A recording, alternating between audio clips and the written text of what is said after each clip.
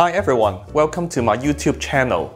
In Chinese, it is called 補習都可以免費. The English translation of it is tutorial can be free.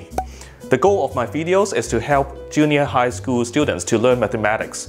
And uh, if they have any questions, they can ask me in the comment section and I will try my best to answer them accordingly. So in this video, I'll be doing two examples. They are shown here on the whiteboard. Example number one and example number two. Um, for most students, these two examples will show up in a chapter called Algebraic Equation in One Unknown.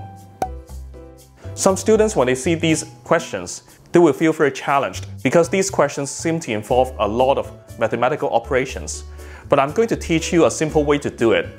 All you need to do is three highlights that I've written here. Highlight number one, two, and three. Highlight number one, the first thing you want to do is to get rid of the brackets as soon as possible. That's the first thing you want to do. Get rid of the brackets. The second thing is like term grouping.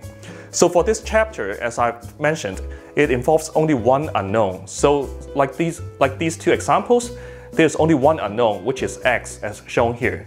So the like term grouping involves only grouping the unknown together and then grouped the other things, which should be only the constants together. The third highlight, it involves the equal sign. So in these two examples, you can see there's an equal sign here and an equal sign here. So what you have to do is you have to treat the equal sign as the weighing scale. So whatever you do on the left-hand side of the weighing scale, you have to do the same thing on the right-hand side.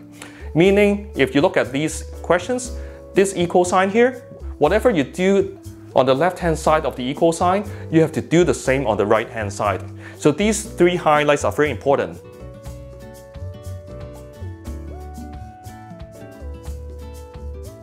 So a lot of students will find these kind of questions difficult because they don't know where to start. So that's why I'm giving you these three highlights. Let's work on the highlight one by one. Let's work on highlight number one first. Get rid of the brackets. What does it mean? It means try to get rid of all the brackets as soon as possible. Here you see there's a round bracket. How do you get rid of the round bracket? The simplest thing to do is you just multiply 14 into each of these terms inside the round brackets. Meaning you multiply 14 with x and you multiply 14 with this minus 10 over 7. So it'll be like this, 10 plus 14 times x, which is 14x, okay? And then plus 14 multiplied by minus 10 over 7. So minus 10 over 7 here, you can treat it as one thing. So that's why we are multiplying 14 with this minus 10 over 7, just like this. So now you want to do some simplification on this thing here. How do you do how can you do simplification? Some of the students may know how to simplify this quickly because although I wrote 14 here, it actually means 14 divided by 1, right? So like 14 here is the numerator and 1 is the denominator. So now it's getting obvious how you can simplify this term here. You have a 7 here, so 7 divided by 7 is a 1. And 14 divided by 7 is 2. Okay, so what we have what we have here is 2 times minus 10, which is minus 20. So now we have 10 plus 14x minus 20. Okay, so now we look at the three highlights I, I mentioned about. First highlight, get rid of the brackets. Do we have any more brackets here? No, we don't. So we move on to the second highlight, like term grouping. So what kind of like terms do we have? We have the unknown term, the, meaning the terms with x. So we have x over 3 and 14x. This and this are the like terms. In the contrary, we have 10 and minus 20. These are constants. So 10 and minus 20 are like terms. So we want to group them together. So we first group the constant terms first. So now we have 10 minus 20. So these are the, the like terms, they are the constants. Okay, and then we have the plus 14x here. We'll deal with this plus 14x later. Okay, so now 10 minus 20 is minus 10. And then we have the plus 14x. Although I haven't written anything on the left-hand side of the equal sign, it actually means x divided by 3 as I haven't changed anything. So it actually means x divided by 3, x divided by 3, x divided by 3, x divided by 3. Okay, So now we continue to do our like term grouping. We haven't finished our like term grouping yet because we still have some unknown term, x, on the right hand side of the equal sign. Now we want to group the unknowns together. How do we do that? Meaning is like this. x divided by 3 and then minus 14x equal minus 10 plus 14x minus 14x. So what we're doing here, this step here, is related to highlight number 3, the weighing scale. The equal sign is like the weighing scale. Whatever you do on one side of the weighing scale, you have to do the same on the, on the other side. So here, the equal sign is the weighing scale. We, do, we are subtracting minus 14x on the right hand side. We have to do the same thing on the left hand side. So that's why you see I've written minus 14x in red in both sides of the equal sign. Okay, so now we have plus 14x and minus 14x. So that's great because we can cancel them out.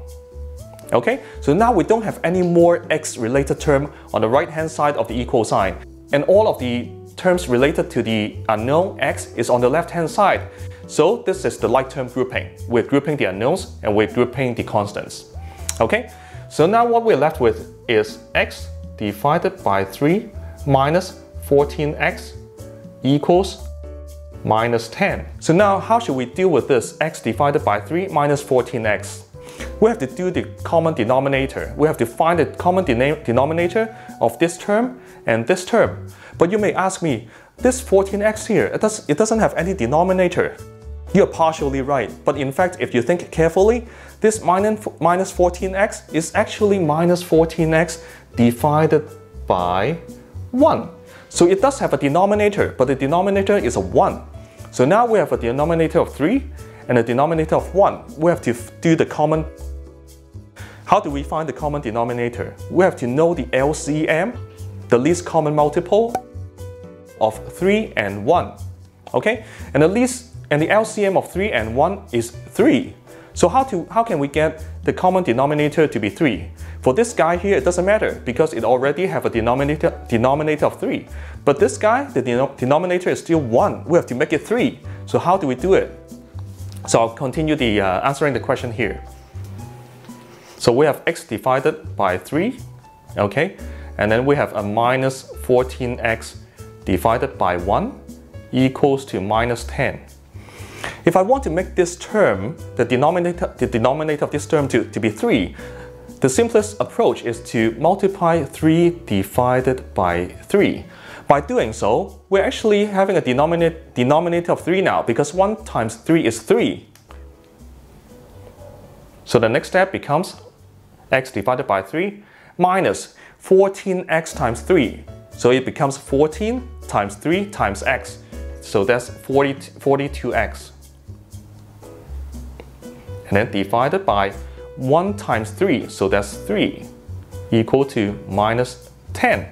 So now for these two terms here, they have the common denominator now, which is 3. So I can do this. 3x minus 42x equals minus 10. Okay, so now which highlight number should we use here? We want to get rid of the 3. The simplest thing to do is multiply each side by 3. By multiplying each side by 3, I can cancel this 3 out with this 3. So now what we're left with is x minus 41x. So that's minus 41x equals minus 10 times 3. So that's minus 30. Okay? Now I want to get rid of this minus 41, right? Because we want to solve for x. We, know, we want to know the value of x. So that's why we want to get rid of this minus 41. The easiest thing to do is to multiply 1 divided by minus 41. 1 minus 41. Okay?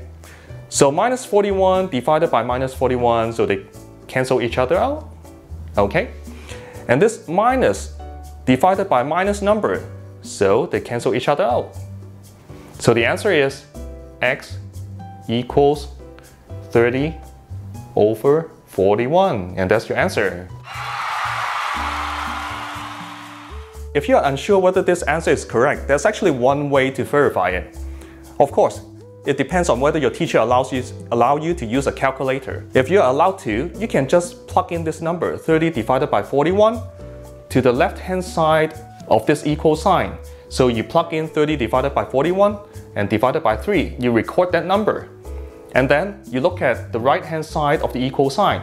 You plug in 30 divided by 41 here, and you compute this and then record, you record the result. Then you compare the result that you get earlier from the left-hand side and the answer from the right-hand side. If they are equal, then you're sure that your x equals 30 divided by 41 is the correct answer.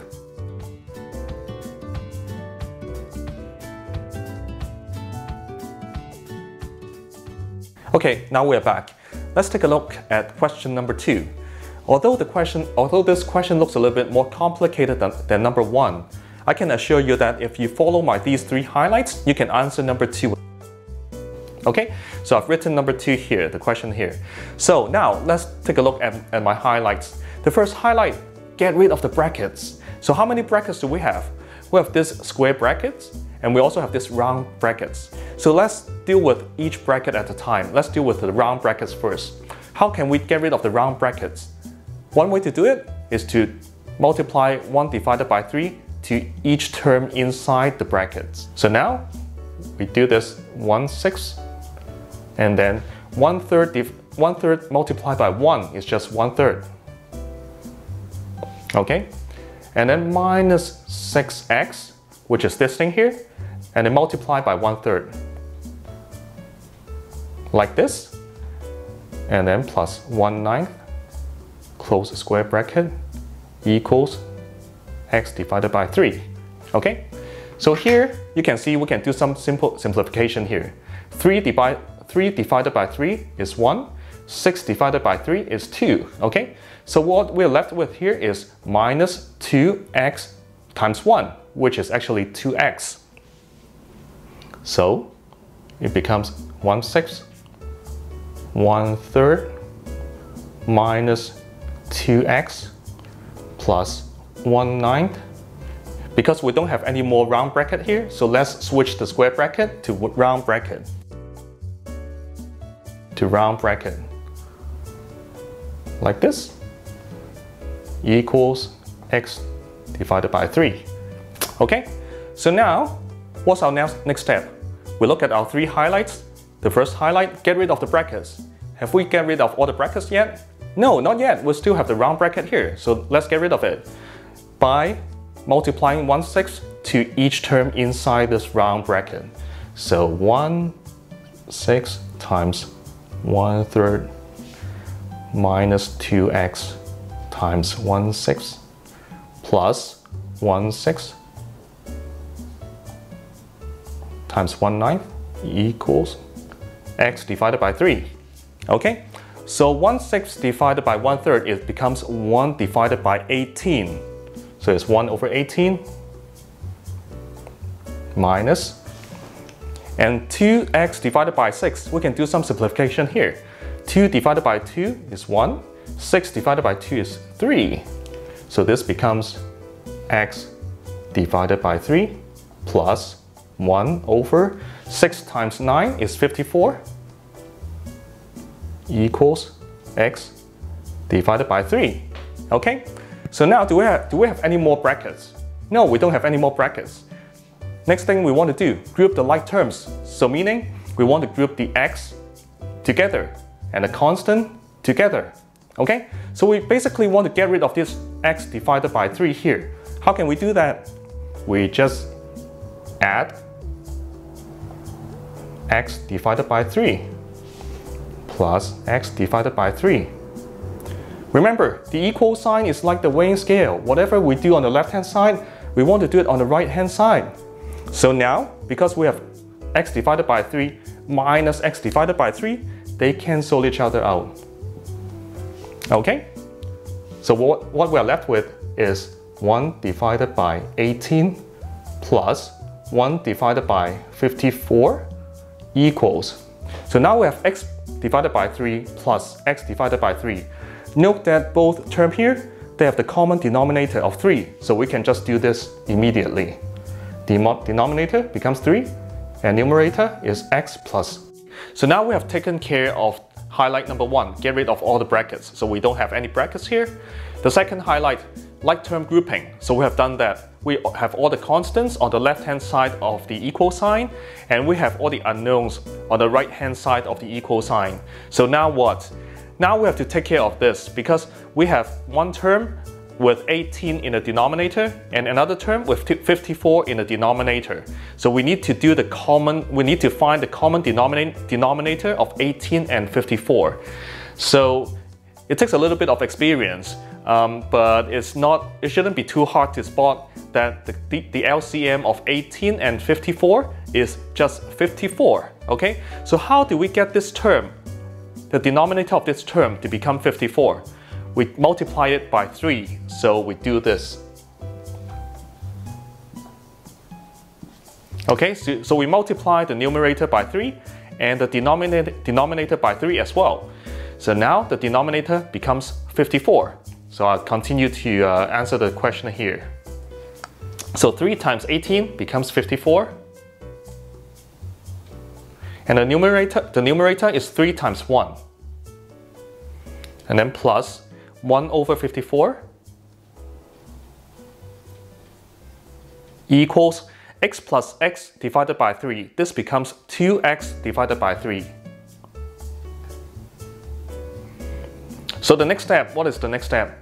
Now we have two terms here on the left hand side of the equal sign, both terms with denominator 54. So we can just do this. 54, 3 plus 1 equals 2x divided by 3. And 3 plus 1 is 4 over 54 equals 2x divided by 3. So we're getting very close to the answer because eventually we want the answer to look something like this, x equals something, right? So we have something similar, but we still have to get rid of the 2 and the 3 here. So what should it be? What should we do? We multiply it by 3 over 2. And remember highlight our highlight number 3. Whatever we do on one side of the equal sign, we have to do the same on the, on the other side. So we multiply it by 3 over 2. Okay? So with this 3 and 3, we can we cancel them out. Cancel this and this 2 and this 2 out. Okay? Now we do some simplification on the left hand side of the uh, equal sign. So what can we do? 2 divided by, by 2 is 1. 4 divided by 2 is 2, okay? 3 divided by 3 is 1. 54 divided by 3 is 18. 2 divided by 2 is 1. 18 divided by 2 is 9, okay? So now we have 1, 9 equals to x. But we shouldn't keep our answer like this. We want the unknown to be on the left hand side of the equal sign as the answer. So we just write this x equals 1 ninth. And that's your answer. So if you like um, both examples, uh, please subscribe to my channel. And if you have subscribed already, please remember to uh, click on the notification bell icon so that you'll be um, notified whenever I upload a new video to YouTube. Okay, if you think your friends or um, uh, even your parents would like to know, to know how to do these examples, you can share my video to them as well. Okay, thanks very much. See you next time. Bye.